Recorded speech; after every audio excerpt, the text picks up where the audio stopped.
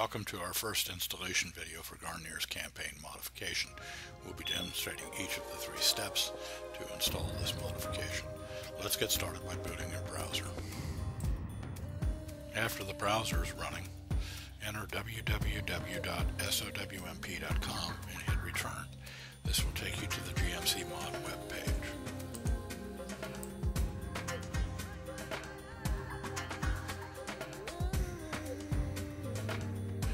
On the GCM homepage, there are instructions for each of the steps that we will demonstrate in turn in a few minutes.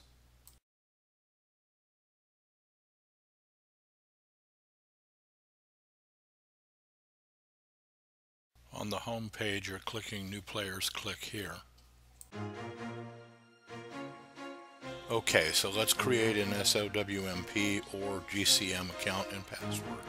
Please write these down as you will need them in step 3.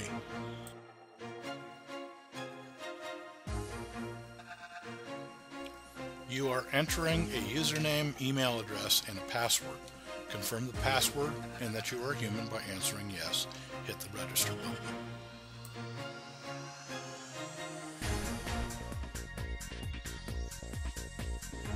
Username and password are used to log into the website and enter the queue to get into each multiplayer battle.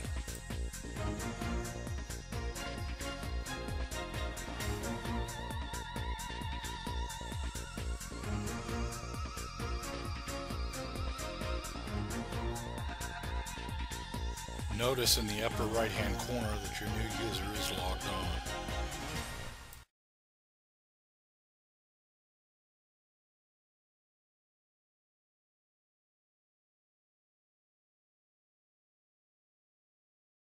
By selecting the second step, we will load the TeamSpeak page of the GCM website. There is a link to the TeamSpeak website where you can download the client.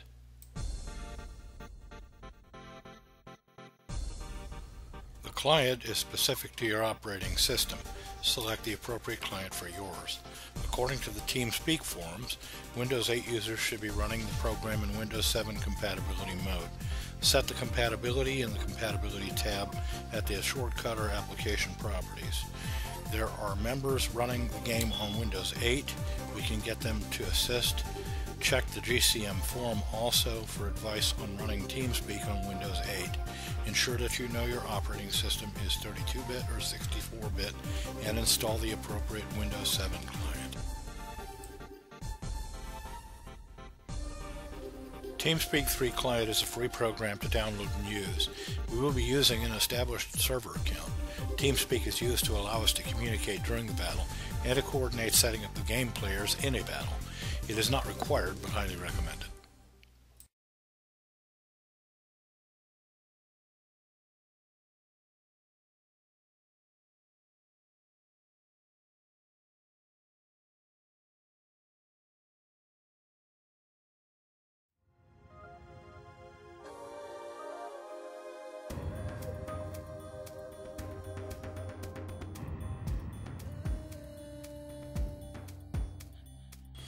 Once your client download is completed, go to the Downloads directory and double-click on the application installer. This will launch the TeamSpeak 3 installation for your system. The installer extracts the client files and starts a wizard.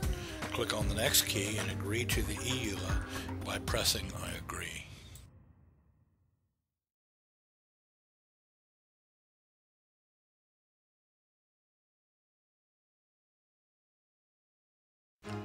Select the appropriate installation option for you. The default is to install for all users on your system. Click the next key to launch the install. I'm not installing in order to ensure my game configuration is preserved. We will pick up again after your successful installation and look at how to configure the client. After the installation is complete, launch TeamSpeak 3 by double-clicking on the desktop shortcut. Your client should be a full window, but it can be reduced as you see mine if you desire. The process to connect is the same. To connect to our server, activate the connection drop-down off the menu on the top bar. Select Connect to open the connection dialog box. In the server address box, enter the appropriate server address. You may want to bring up GCM's TeamSpeak page like I have to enter this information. Select a nickname of your choice. The nickname only applies to TeamSpeak. Use the same name as your login username to be consistent, although that's not the proverbial game stopper. It does make it easier on our hosts to be able to coordinate getting you into games. New users do not require a password, so leave it blank. Press connect and our channel should activate. An administrator for TeamSpeak will need to register you so that you can move around, but you now have access to the entrance. Leave it open and someone will be along to register or just say hi. Other configuration information is available on the GCM TeamSpeak page to aid you in configuring other TeamSpeak options. Take some time to read this information later. It covers older versions of the client, but the basic ideas are the same. There is a TeamSpeak video embedded in the GCM page also to help you better understand the client.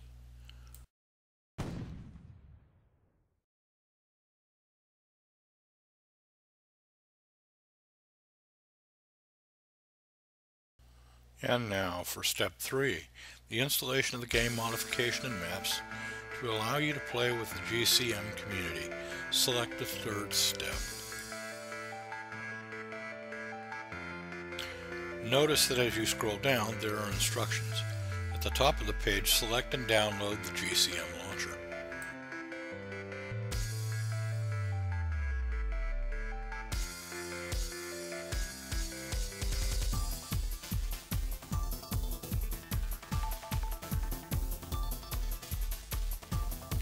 The file is about 1 megabyte in size and should download quickly. Go to your Downloads directory and double-click on the file to start the install. The dialog box warning is because there's no certificate for the particular program. It's okay though. Click on the Run to start the process of installing the multiplayer modification. The modification is one to Scourge of War Gettysburg and must be installed in the correct directory to work. Ensure that it is installed in the C Matrix Games Scourge of War Gettysburg directory. It will create a GCM directory in your game install directory. Once you have confirmed the correct target for the file, click on Install, then Next to continue.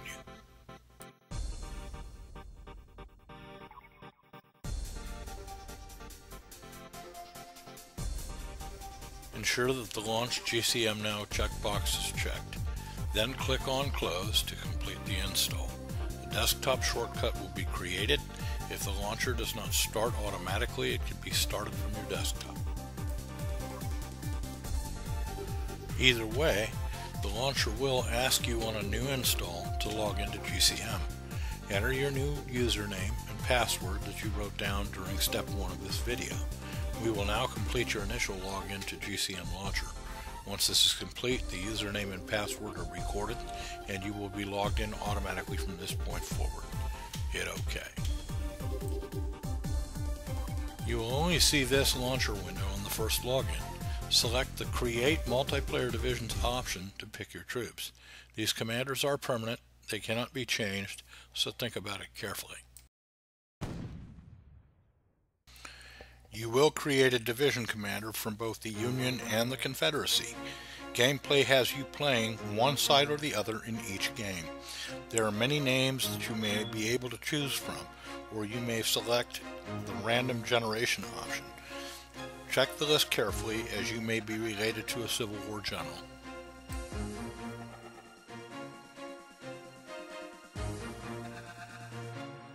For each division, you are selecting a state, a first name, middle initial, and a surname. The list allows quite a lot of creativity. There are some players who have their names in their in-game division commanders. Player-created names are not allowed, but the list of names that are available is truly extensive and exhaustive. You should be able to get very close to any name you may really want. Lee and Meade are commanders at Gettysburg, uh, are automatic included in the, in the game. Uh, I would recommend not selecting them as it could create confusion.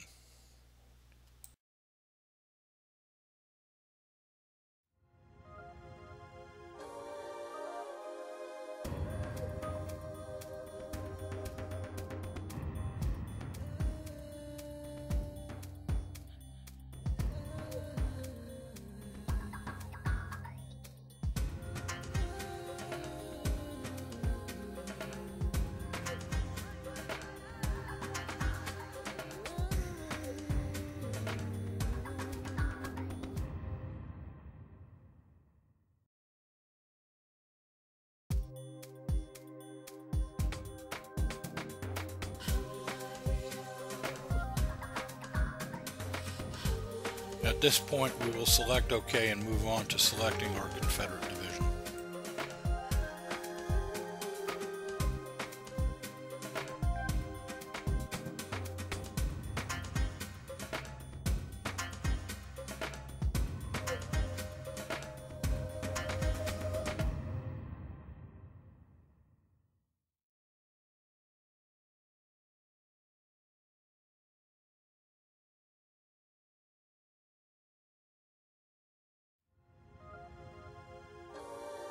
We have now completed the process of setting up the GCM mod for Scourge of War Gettysburg. When you log in next, you will see the launch screen that's shown. Be sure to run it each day to ensure that you get your updates. Maps are updated periodically and everybody must manage. Updates are automatic. Congratulations, you have installed the mod. Make sure that you get tested out with someone in the community. Thanks for watching this video.